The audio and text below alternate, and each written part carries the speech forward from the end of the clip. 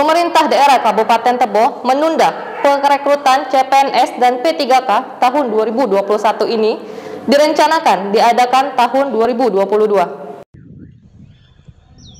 Pemerintah daerah Kabupaten Tebo tahun 2021 menunda perekrutan CPNS umum dan P3K dikarenakan pandemi COVID-19.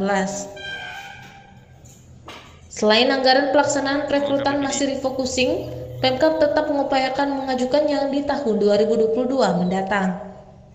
Sekretaris Daerah Kabupaten Tebo Teguh Arhadi membenarkan hal tersebut. Tebo memang tahun ini ditunda perekrutan CPNS dan 3K.